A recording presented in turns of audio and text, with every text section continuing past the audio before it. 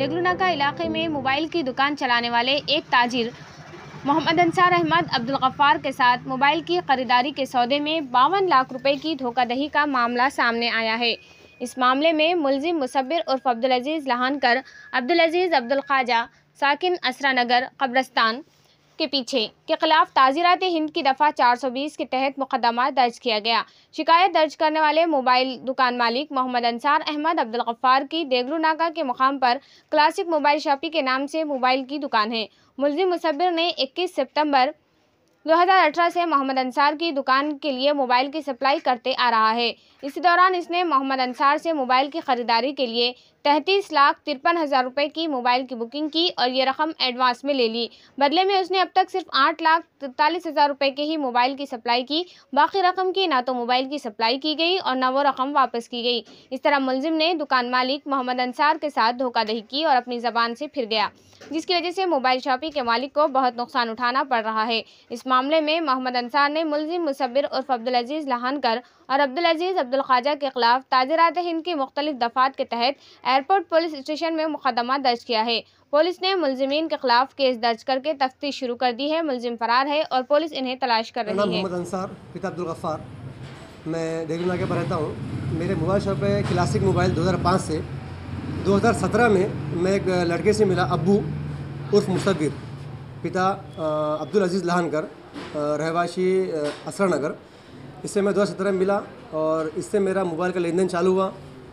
जिसमें मैंने उसको अभी तक तैंतीस लाख रुपए दिए थे मोबाइल की, मोबाइल के लिए। मतलब और जिसने, उसने मुझे आठ लाख वापस दिया। और अगर आप देखें तो पच्चीस लाख का अमाउंट उस पर अभी अटका हुआ है मेरा। जी, उसने मुझे कई वक्त आश्वासन दिया था कि मैं पैसे वापस लौटाऊँगा। मैं, मेरे भाई उससे घर पर गए थे। पिता अब्दुल अज़ीज़ लहान करके उन्होंने बोला कि मेरा बेटा है मैं आपको पैसे लौटा दूँगा ये गारंटी मेरी है। और उन्होंने कुछ दिन पहले आ, मतलब जो हमारा मैटर हुआ था उसके छः महीने के बाद उन्होंने उसको दुबई फ़रार कर दिया दुबई भेज दिया था पैसों की वजह से। और अभी हमको पता चला तीन महीने पहले वो नांदेड़ आया हमने नांदेड़ घर पर जाकर बातचीत की। तो पिता का कहना है कि हम आपके पैसे नहीं लौटाएँगे आप जो कर सकते कर लो मेरे बहुत लिंक है इस मामले में आप हमारा कुछ नहीं बिगाड़ सकते ये अब्दुल अज़ीज़ लानकर का कहना है। और अब्बू जो था, तीन साल से दुबई, तीन महीने पहले नांदेड़ आया और हमें परसों पता चला कि उन्होंने और उसे डबल दुबई को फ़रार कर दिया उसे, दुबई भेज दिया डबल से और नहीं नहीं नहीं, इसमें ये मेरा खुद का अमाउंट नहीं था, मैं मोबाइल शॉप चलाने वाला हूँ, हमारी रोज़ की दो सौ, दो पाँच सौ कमी हुई थी। इसमें मैंने बहुत सारे मेरे दोस्त, मेरे रिश्तेदार खरीब के लोगों से मैंने अमाउंट जमा किया था, किसी से एक लाख, किसी से पचास हज़ार, किसी से पाँच लाख, ऐसे अमाउंट करके मैंने, जो भी लोग थे, जो सौ, दो सौ कमाने आए थे, उनसे मैंने अमाउंट जमा किया था। उधार लिया था। उनको भी ये मैंने उम्मीद दिलाई थी कि भाई ये मेरे पैसे आने वाले हैं। ये मेरे जो अबू मुसविर जो है, ये मेरा नज़दीक का बंदा है, ये मेरा पैसानत का है, ये पैसे लौटा देंगे। ये नहीं देंगे तो इसके बाप ने मुझे बोला था कि भाई मेरा बेटा कारोबार चालू करा। अगर मेरा बेटा नहीं दिया तो मेरी प्रॉपर्टी मैं बेच के आपको दूँगा ही। लेकिन एंड ऑफ़ पॉइंट आखिर में ये होता है कि बे, बाप और बेटे दोनों मिल के बात ज़बान से फिर जाते हैं और हम बस वहीं के वहीं ठहरे रहे। एक अमाउंट की उम्मीद में कि भाई ये लोग देंगे जो ज़बान की थी इन्होंने। लेकिन इन्होंने कुछ ज़बान पर पूरा उतरा नहीं ये लोग हाँ लोग तकाजा कर रहे हैं मुझसे, लेकिन मैं जिनसे पैसे लिया हूँ तो मुझे उनको तो फेरने। मैं ईमानदार शख्स हूँ, मुझे देना है। चाहे मुझे कुछ भी करना हो, मैं देना, मुझे देना तय है। मुझे मालूम ये लोग गरीब हैं।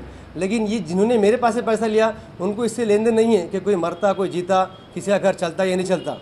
कि घर बिक जाता, इन्हें लेना देना नहीं है। किसको? ये मुसविर को और उसके पिता अब्दुल अज़ीज़ लहानकर को। ये लोग सरे से बात उड़ा दे रहे हैं ना घर पे आने दे रहे हैं ना फ़ोन हमारा रिसीव कर रहे हैं। मतलब शुरू शुरू में इन्होंने जो हमको बेनिफिट दिखाए पता नहीं इन्होंने कहाँ से माल लाए थे जो हमारा मोबाइल का लेन देन था पता नहीं इन्होंने एक्चुअल अमाउंट एक्चुअल में वो कंपनी से लिए थे और कहीं से और थर्ड पार्टी से लिए थे। मतलब जो माल हमको ओरिजिनल मिलना चाहिए था ये तो हमको माल दिए लेकिन इन्होंने कहाँ से लाए वो नहीं पता। हमको शुरू में चार से छः महीने हमको इन्होंने प्रॉफिट दिए हमको उम्मीद जताए कि आप हमसे ऐसे ही काम करते रहो और आप हमको ज़्यादा अमाउंट देते रहो हम आपको ज़्यादा फ़ायदा कराते रहेंगे। लेकिन हाँ सौ दो सौ रुपये के मार्जिन पे हमारा काम था।